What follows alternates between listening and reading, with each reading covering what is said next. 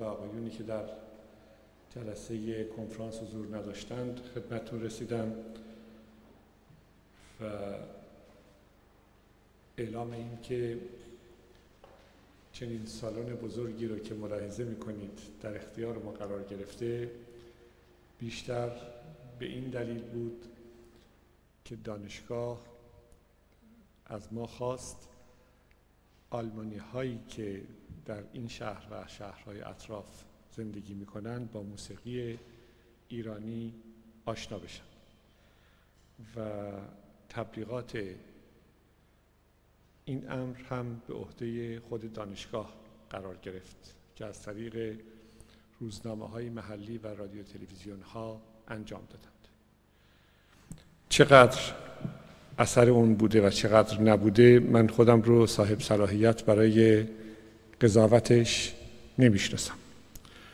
از نظر ما و انجمن پژوهشگران ایران همونطور که من بارها در جلسات مختلف انجمن و هم امروز هم گفتم بیشترین هدفمون اینه که برنامه هایی رو که انجمن پژوهشگران ایران داره در اختیار جامعه ایران و در داخل ایران بیشتر قرار بگیره. به همین معنا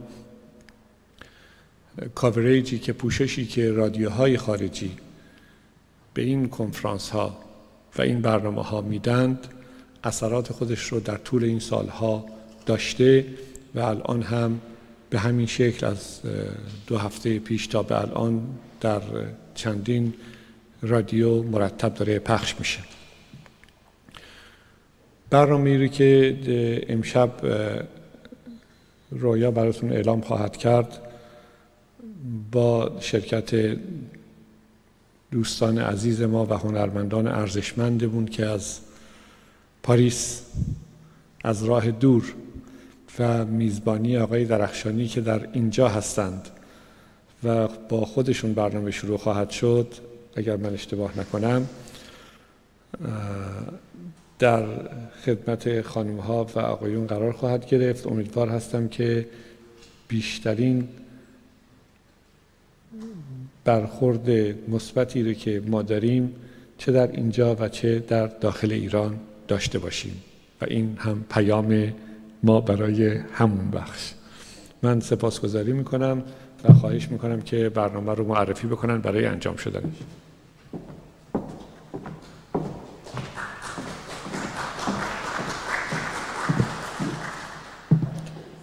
خیلی ممنونم از خانم آقایون که اینجا لطف کردن تشریف بردن و به اولین کنسرتی که ما تا به حال تجربه انجامش هم نداشتیم خوش آمد بگم خدمتتون. امشب همونطور که گفتن همه نوازندگان و هنرمندانی که با ما همکاری می‌کنن چه امشب چه فردا شب و چه شنبه شب همه به لطف خودشونه به عنوان کمک و پشتیبانی برای شناساندن موسیقی ایرانی هستش. و همه به هزینه خودشون به خرج خودشون از اقصانقات دنیا اینجا هستند و همونطور که آقای دکتر لاجوردی گفتند آقای درخشانی هم میزبان ما اینجا هستند که محبت کردن و هستند. و همه از راههای بسیار دور آمدند و امیدواریم که بر حال بتونیم از طریق رادیوی بی بی سی، صدای آمریکا، اسرائیل، صدای آزادی و بقیه رادیوهای محلی اینجا دویچه و رادیو فرانسه هم که اینجا حضور دارند مقداری از موسیقی زیبایی که امشب فردا شب و شنبه شب رو میشنویم با شنونده های این رادیوها توی ایران و بقیه کشورهای اروپا که میشنون این رادیوها رو شریک باشیم. بنابراین ما فقط این تعداد معدودی که اینجا هستیم نیستیم. شنونده های بسیار زیادی برای کنسرت امشب فردا شب و شنبه شب خواهد بود.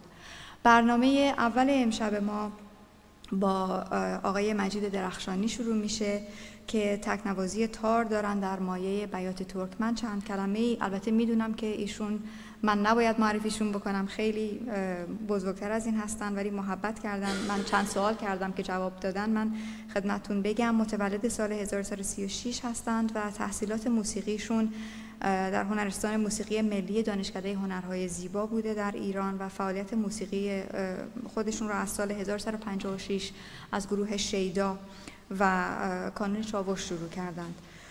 تدریس موسیقی ایرانی در چاوش کانون رودکی در تهران و بعد در 14 سال گذشته در آلمان بوده.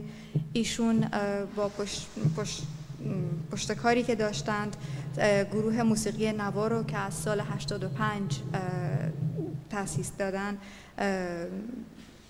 باهاش فعالیت می‌کنن و در شرکت در فستیوال ها و کنسرت های بین المللی هستن. من عذر می‌خوام اگر فارسیم خیلی خوب نیست چون من انگلیسی صحبت می‌کنم و از انگلیس آمدم. منو ببخشید. فعالیت اصلیشون آهنگسازی در فرمهای موسیقی ایرانی هستش و انتشار کارهای آهنگسازیشون در ایران و خارج از ایران. کارهایی رو که تا به حال کردن که حتما همه می‌شناسیم موسیقی گذاشتن روی اشعار اخوان سالس. با صدای محمد شجریان درست میگم آقای درخشانی؟ درست میگم. و کار مشترکی کردند با دوازده گروه موسیقی از کشورهای مختلف جهان. برنامه هایی هم که برای آینده دارن که ضبط شده و به زودی ارائه خواهد شد دو تا کار هستش که باز روی اشعار ناصر هستش اگر درست تلفظ می‌کنم با صدای آقای شجریان و خانم محسا وحدت. ازشون خواهش می‌کنم که تشریف بیارند و قسمت اول برنامه ما رو با لطف همیشگیشون اجرا بکنن خیلی ممنونم.